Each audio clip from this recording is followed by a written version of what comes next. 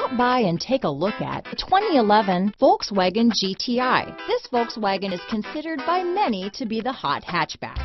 The GTI easily accommodate up to four adults. A decent sized 15 plus cubic foot trunk is well shaped and easy to load. This vehicle has less than 125,000 miles. Here are some of this vehicle's great options.